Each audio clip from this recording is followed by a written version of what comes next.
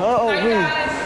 How you Hey, doing? how you doing? What's? This was the front door. So, fellas, guys, we're going through the front door of the school right here. Oh, this This was the outside.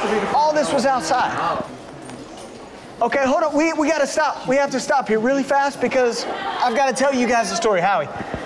I was in Miss Rick Wall's U.S. history class. It was like 2.30, and the intercom comes over and it says, Brian Littrell, you have a call in the office. Please report to the office. And the office used to be right here. I guess it's the, what is this, the bank now?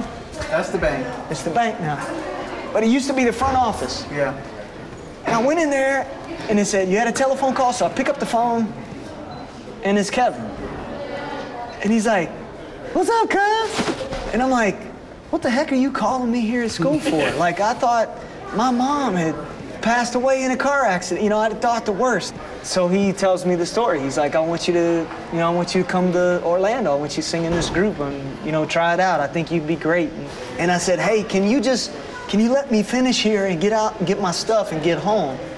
And he said, Yeah, yeah, yeah, I'll, I'll call you. And I said, Call me a little after three o'clock. I'll be home. And I got home, and, you know, Kev's not the greatest with time. So, so he finally calls the house, and, and then he just dumps it all on me, like, Hey, you know, gives me the whole story. Um, Before any of that, I called your mom and dad first and told them. That's I a said, good what do you cousin. think? And she's like, give him a call. That, he's at school. Permission. that's what she said? Yeah. That's cool.